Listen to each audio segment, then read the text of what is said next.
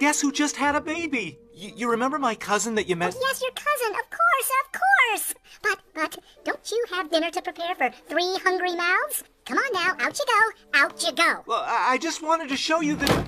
Oh my goodness. Well, isn't it just so precious? Okay, Alvin. Isn't he precious? Isn't he just adorable? And you're surprised Theodore's pooping in the kitchen? That much about the. No, stop it, David. Haven't you done enough already? I, I think he just needs a little time. Girls told me what happened, and I want you two to respect Theodore's mission. Oh, but, but, but, Dave, you know, Theodore's whole mission is. Important.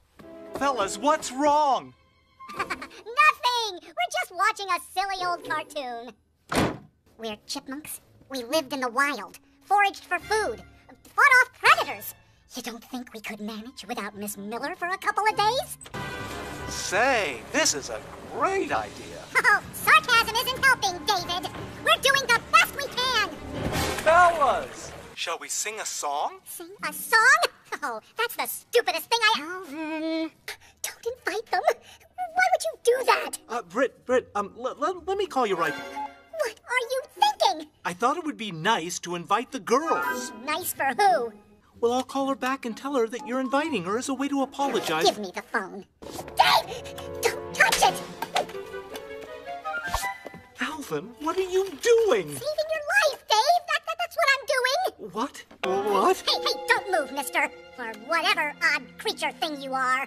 A bucket of strawberry jam is hanging over your head. Alvin? Quiet! I'm the one giving the orders here.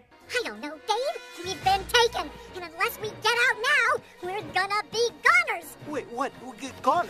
Are, are, are you sure? Dave, listen to me now.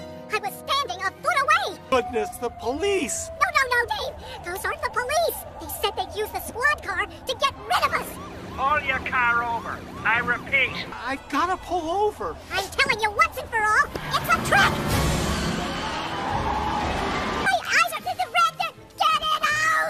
What? Get what out? Dave, am I frothing yet?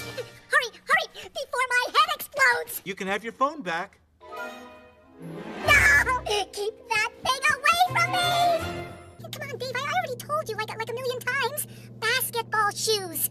Right. What do you think you're doing? I'm calling Miss Smith and telling her the truth. I can't do this. Uh, Dave, the I can't do this ship has already left the dock, okay? Don't answer it! David, Oh, hello, Miss Smith. get down here. Right. Dave, Dave, are you almost done? Uh, uh, Stay, just stay in the car, Alvin. Dave's a little grouchy because he got in trouble for lying. Okay, guys.